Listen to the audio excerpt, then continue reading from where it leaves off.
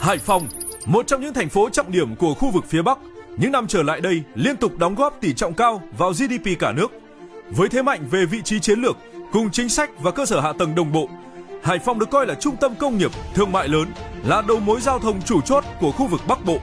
Tính trong 5 năm trở lại đây, tốc độ tăng trưởng kinh tế GDP bình quân của Hải Phòng đạt gấp 2,1 lần bình quân của cả nước.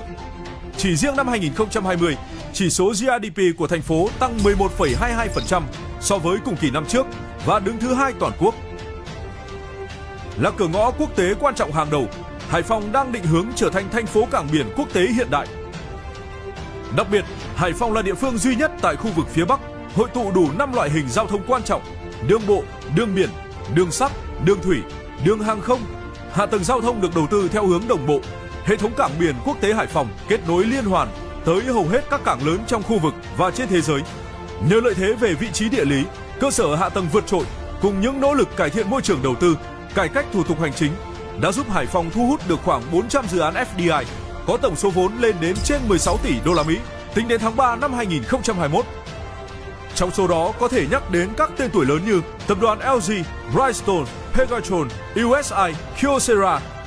Sự phát triển kinh tế thần tốc của Hải Phòng trong những năm gần đây đã thu hút lượng lớn nguồn nhân lực ngoại tỉnh và chuyên gia nước ngoài đến sinh sống và làm việc, khiến nhu cầu về nhà ở và cho thuê gia tăng nhanh chóng, góp phần tạo nên sự sôi động cho thị trường bất động sản. Trong đó có thể kể đến khu vực quận Lê Trân. Kể từ khi đại siêu thị Iongo lớn nhất Hải Phòng đi vào hoạt động, giá thuê và giá bán của các dự án bất động sản xung quanh đã được đẩy lên một mức cao mới và theo dự đoán sẽ tiếp tục tăng trong tương lai. Khảo sát một số sàn bất động sản trên địa bàn Hải Phòng cho thấy hiện nay giá bất động sản tại Hải Phòng vẫn đang tăng giá với mức bình quân từ 10 đến 30% so với năm trước. Nhận thấy Hải Phòng sẽ không nằm ngoài xu thế phát triển đô thị hiện đại như các thành phố nổi tiếng tại Việt Nam và trên thế giới.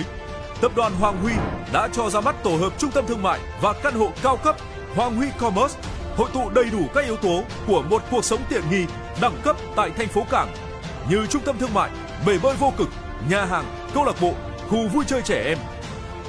Nằm trên trục đường huyết mạch Hồ Sen, Cầu Giao 2, kế cận đại siêu thị iomo Hải Phòng. Chỉ vài phút di chuyển đến trung tâm, sân bay, đường cao tốc. Hoàng Huy Commerce chắc chắn sẽ là lựa chọn tối ưu cho một dự án bất động sản giá trị với tiềm năng sinh lời cao trong tương lai. Hoàng Huy Commerce, trọn vẹn giá trị, hạnh phúc thăng hoa.